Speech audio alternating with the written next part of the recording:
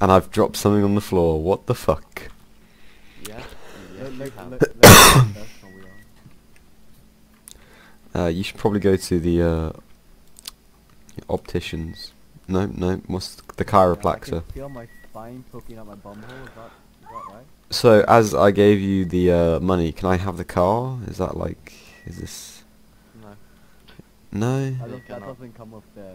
the So, I'm sorry, but this car is worth nearly triple times the amount by 10, and that's how much this car is worth. Triple. So nine, eighteen, twenty-seven, My guys broke his leg.